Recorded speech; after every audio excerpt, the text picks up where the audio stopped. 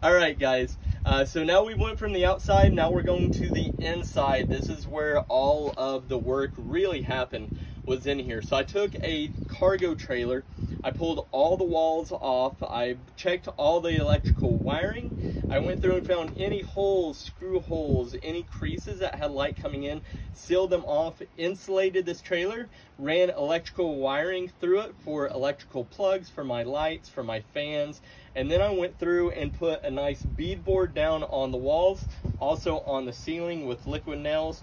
And then for the floor, I did a floating floor with luxury vinyl plank. Has a 20 year warranty on it. It's super, super durable. It's waterproof. Um, I've been very happy with it and aesthetically it looks really, really nice.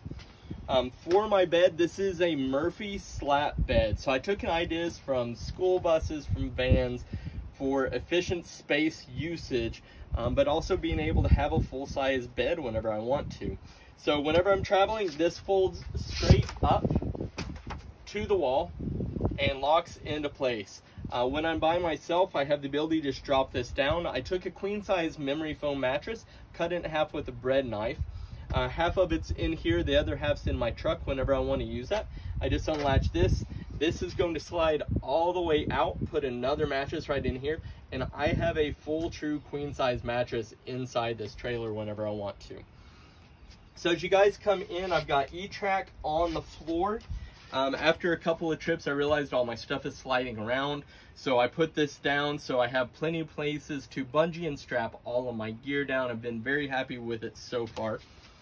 Uh, one of the excited things I did was build this countertop and my kitchen right here. Um, so if you see, actually I just took a bar stool from Walmart and put some extra memory foam and a nice little top to it right there. This slides underneath all of my stuff. I have a post right here, so this is really nice and sturdy. Built a hidden spice rack underneath, as you can see there. If I do need to put this down whenever I'm traveling or I have the bed all the way out, all I do is pull this out of the trap, drop that down, and now it's just part of my kitchen cabinet. Um, as you come in and look at the rest of my kitchen, clean up, the wind's blowing this morning.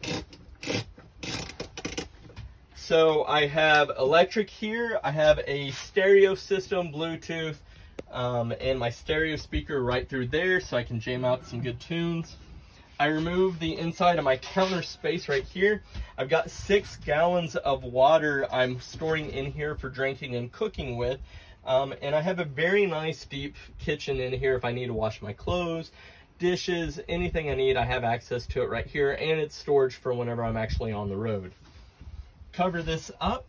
I wanted as much counter space as possible, so I put this where I can put it right back in. And then also, as you guys can see, I put a wall-mounted kitchen sink, so it gives me more space right through here. The faucet folds out of the way when I don't need it. I've got a place for soap up top. Um, over here, I found a little slat wall right here on the side of the road. Cleaned it up. I've got my spices from the spice rack right up here. I've got my coffee from Zero Tolerance out of Oklahoma City. And I've got my paper towels Right here, I've got my kitchen cabinet. I use some 8x10 picture frames uh, that I'll put some of my photography um, on that in foam. And then I can go through, have all my storage for gear up in here. Now, before we get too far, I know you guys are seeing this, wondering what this is. This is my AC and my heat unit. This is also known as a mini split. These are used for houses. It's a 9,000 BTU. You saw the main body unit outside. This is my control um, coming on the inside thermostat right there so I can set the temperature. We were here two nights ago, it was 31 degrees. We actually had this so warm so quick, we actually had to turn the temperature down. Last night it was in the 40s, we set it at 69 and we're toasty as can be. Uh, whenever it does warm up, the AC in this will freeze this out really, really fast. Um, uh, going along with that, I also have my exhaust fan that I installed from MaxxFan and uh, I've got four speeds. This only brings exhaust out so I can open up the windows, open the doors, and that's gonna pull all the hot air out whenever I need that. Also, whenever I'm taking a shower, I turn this on so I can keep any moisture out of my trailer. Speaking of, I have my shower right here behind me. Kind of see it's kind of awkward. There's not a shower pan or anything like that. You're trying to figure out what's going on. Well, I actually have a livestock tank that's outside I bought from Atwoods for $30. It sits right in here. I have two shower curtains that I have on this ceiling track um, that go around and I just tuck it into the tub. I can take a shower inside. I also have a holder for the shower head outside on my door and I can take shower on the outside as well with the shower tin I have. I have a holder for my towel. I have a, just on a quick carabiner, this is removable uh, for when I'm on the road, but I put all my soaps and everything on here, my towels. As you can see right behind it, I actually have a tank.